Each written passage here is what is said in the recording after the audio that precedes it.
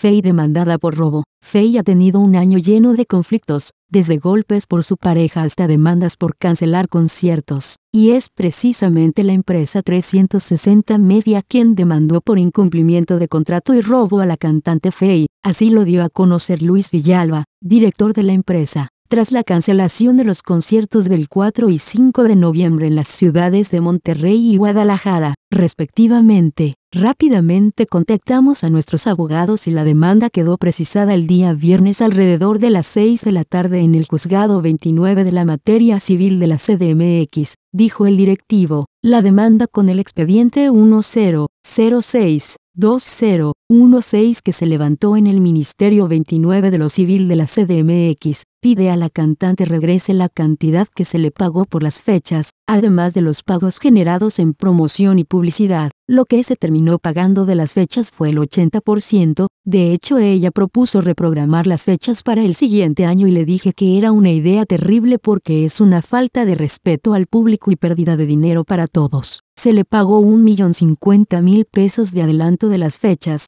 pero a esa cantidad faltan los gastos que se realizaron para publicidad, renta de auditorios y demás cosas. Por la metiche.com, 31 de octubre de 2016.